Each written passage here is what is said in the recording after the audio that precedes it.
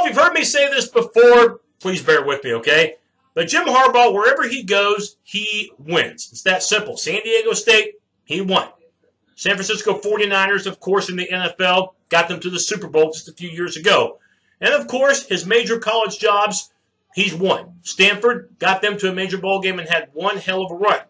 And entering year number three at Michigan, he's already not only posted back to back double digit winning seasons, but he also got the Wolverines to a major bowl last year, the Orange Bowl, and another top 10 recruiting class. So you know Michigan is going to be in real good shape for years to come. But for Mr. Harbaugh, 2017 could be his biggest coaching challenge yet because he has to replace 17 starters. Wow. Now, on our previews, team by team previews, we're going to have a did you know before we break down the offensive defense. Did you know that Michigan had 11 players picked in last year's NFL draft? That's the most of any Wolverine team in school history. Considering that Michigan's the winningest team in college football history and has the winning percentage amongst any FBS school, yeah, they've been playing football a long time. That is one heck of a statistic. 11 players from Michigan last year drafted. Let's look at Michigan's offense and what they do have coming back. Of course, the quarterback, Wilton Speight, he's a veteran. He last year had a modest 2016, 18 touchdown passes, only seven interceptions, and threw for over 2,500 yards. Now, two things going against Wilton, though. Number one, last year in the money games, he didn't always play his best. In fact, had two costly interceptions against Ohio State and did not play his best against Florida State. Both of them, of course, were losses at the end of the season.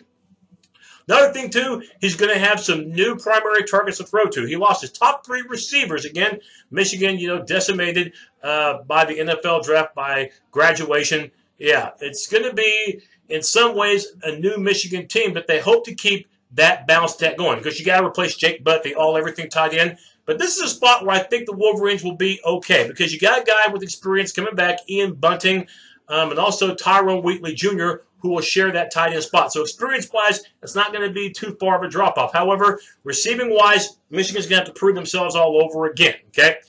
That means that Eddie McDoom, we'll see what he can do at wide receiver, and also the one-time uh, five-star recruit out of high school, Donovan Peoples-Jones. So if these guys can live up to expectations, Michigan should be just fine in trying to keep that balance. The ground game, that's a little more solidified. Chris Evans, even though he only had 600 yards a year ago, did average 7 yards per carry, so more of an opportunity for him to show what he can do.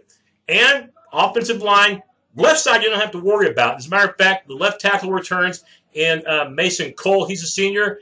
And a guy that impressed last year as a freshman and got to start, Ben Bredeson. Bredeson, now entering his sophomore year, will play the left guard position. But the Wolverines will be looking for some new starting blood at center and on the right side of the line.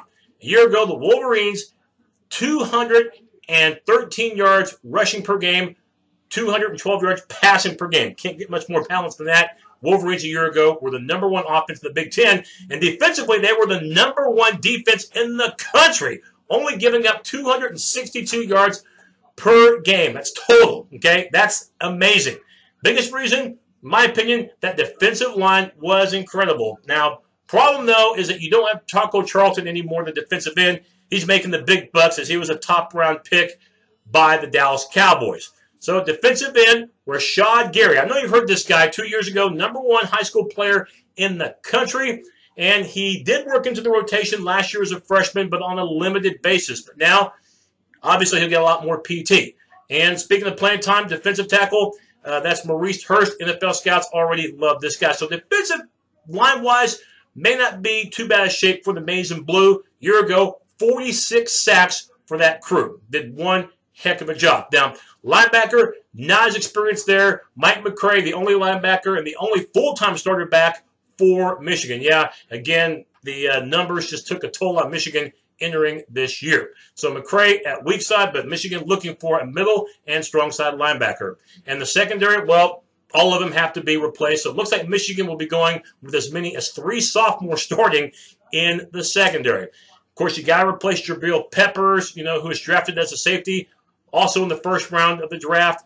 And the big thing for the Wolverines, even though your secondary is going to be fairly raw, and even though it was number one in the country last year in um, passing defense, Wolverines don't have to worry about facing a passing attack the first five games of the year. Of course, Florida is the opener, and the Gators aren't really known for passing. It's not until game number six at Indiana when you go against a team that loves to throw the ball. So maybe that'll be enough time for the Wolverines secondary to get acclimated. And in terms of special teams, you know, like I said, Jabril Peppers is a big loss because, you know, he also returned punts and he was very, very dangerous. Okay. And so now it looks like Eddie McDoom, the receiver, he'll get his shot at returning uh, punts. And by the way, you lose Kenny Allen, your kicker and punter. And it looks like Michigan will be going with a couple of freshmen to fill in those spots respectively. Looking at that schedule, we mentioned the Florida opener. It's in Arlington, Texas. The Wolverines, I think, still, despite the fact they got a lot of players to replace, I think in a low-scoring game, we'll have still have a good shot at pulling up that Week One victory. And that could be a tone setter because if Michigan can beat Florida, Wolverines could very well be six and zero, oh, provided they can get past Michigan State in that road game at Indiana. Six and zero, oh, perhaps facing an undefeated Penn State team, the defending Big Ten champions. Remember, Michigan humiliated Penn State last year, but that was during game number four. And then after that, Penn State lost. The Nittany Lions ran the regular season table, including beating Ohio State and beating Wisconsin in the Big Ten championship game. Um, so, you know, Penn State has been thinking about that game for a while. At the end of the year, you got a couple of potential roadblocks at Wisconsin in what last year was a low-scoring game. Michigan won it 14 to 7, and of course, their big-time nemesis from Columbus, Ohio. The Buckeyes have absolutely owned this rivalry, but this year at least Michigan gets to play the game at the Big House. Now, another segment that you're going to be seeing on this show: Vegas win total. The projection that Las Vegas has for a team as far as regular season wins. Vegas says that Michigan's going to win nine. Do I think that's too high, too low, or just about right? I think actually it's just about right. Nine. On one hand, Harbaugh does have enough young talent to where they can get acclimated as the season progresses. Remember, Michigan's real tough part of the schedule isn't until later in the year. So the youngsters will have some valuable experience and should be in a little bit better shape, especially when they play at Penn State and then later in the year at Wisconsin and against the Buckeyes. But on the other hand, it is a lot of players to replace and the tough games against Penn State and Wisconsin are both on the road. And until they can find a way to beat Ohio State, I can't pick Michigan to beat the Buckeyes, especially with the talent that Ohio State and Urban Meyer will have uh, this season. This is plentiful. So I think nine wins and a third place finish in the very difficult Big Ten East Division is just about right. And for Michigan fans, my opinion, 2018 is when I think this team will be extremely loaded, bringing nearly everybody back. That's my look at Michigan. We'll see you next time.